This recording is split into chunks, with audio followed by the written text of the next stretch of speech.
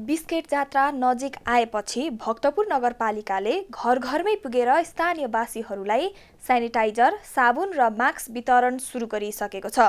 जात्राबाट corona संक्रमण फैलन नदिन र corona रोकथामका लागि आवश्यक सामग्री वितरण सुरु गरेको नगरपालिकाका प्रमुख सुनिल प्रजापतिले जानकारी दिनुभएको छ।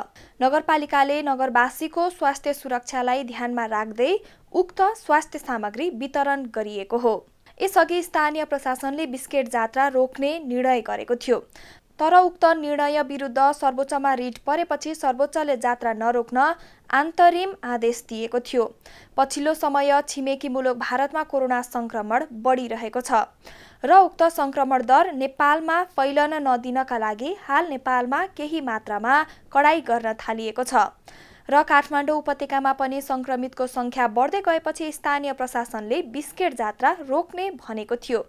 तर अब जात्रा नरोकिने भएपछि सङ्घीय सांसद प्रेस सुवालको स्थानीय पूर्वाधार विकास साझेदारी कार्यक्रम अन्तर्गत आर्थिक वर्ष दुई हजार सतहत्तर अठहत्तरको बजेटबाट भक्तपुर नगरपालिकामा सञ्चालित कोभिड नाइन्टिन सङ्क्रमण रोकथामका लागि नगरपालिकाले स्वयंसेवक परिचालन गरी घर घरमा गएर स्वास्थ्य सामग्री वितरण गरेको जनाएको छ।